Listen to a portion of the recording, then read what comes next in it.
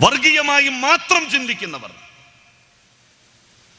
എന്തിനാണ് പള്ളിക്കൽ പഞ്ചായത്ത് പ്രസിഡന്റ് മിഥുന എന്ന പെൺകുട്ടിയെ നിങ്ങൾ പുറത്താക്കിയത്?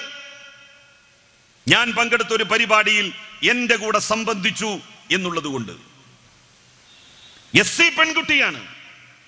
അവിടെ എസ് സി വനിതയാണ് പഞ്ചായത്ത് പ്രസിഡന്റ്. മിഥുനയെ നിങ്ങൾ പുറത്താക്കിയത്?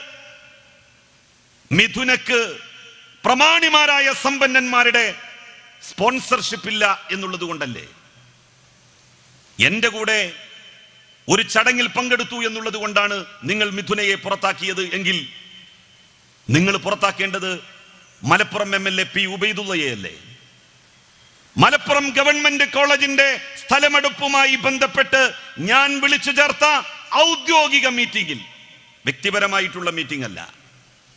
ബന്ധപ്പെട്ട ഉദ്യോഗസ്ഥന്മാർക്കും ജനപ്രതിനിധികൾക്കും നോട്ടീസ് നൽകി എന്റെ ചേംബറിൽ ഞാൻ വിളിച്ചു ചേർത്ത യോഗത്തിൽ ഉബൈദുള്ള പങ്കെടുത്തില്ലേ? മലപ്പുറത്തെ M L A. Malappuram municipal chairperson Jameela teacher പങ്കെടുത്തില്ലേ? എന്തേ നിങ്ങൾ അവരെ പുറത്താക്കാതിരുന്നു? ഒരു എസ് സി വനിതയെ നിങ്ങൾ എന്തിനു പുറത്താക്കി?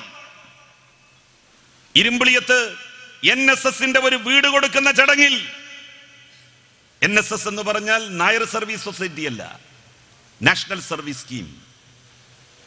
എന്റെ വകുപ്പിന് കീഴിലുള്ള ഒരു സംവിധാനമാണ് എൻ എസ് എസ്. ഒരു കോളേജിലെ എൻ എസ് എസിന്റെ വോളണ്ടിയർമാർ ഒരു വീടുണ്ടാക്കി കൊടുത്തു. അതിന്റെ താക്കോൽദാന ചടങ്ങിൽ ഞാൻ പങ്കെടുത്തു. കുറ്റിപ്പുറം ബ്ലോക്ക് പഞ്ചായത്തിലെ ലീഗിന്റെ മെമ്പർ ഫസീല ടീച്ചർ പങ്കെടുത്തില്ലേ? എന്തേ നിങ്ങൾ ഫസീല ടീച്ചർ പുറത്താക്കാതിരുന്നു? കോൺഗ്രസിന്റെ പ്രസിഡന്റ് ഉമ്മുക്കുൽസ് പങ്കെടുത്തല്ലോ. എന്തേ നിങ്ങൾ കോൺഗ്രസ്സുകാര് ഉമ്മുക്കുൽസുവിനെ പുറത്താക്കാതിരുന്നു? മിഥുനയെ മാത്രം നിങ്ങൾ പുറത്താക്കി. നിങ്ങളുടെ വർഗീയതക്ക് ഇതിലും കൂടുതൽ തെളിവ് വേണോ? ദളിതരോടുള്ള ലീഗിന്റെ സമീപനത്തിന് ഇനിയും ഉദാഹരണങ്ങൾ നിരത്തണോ?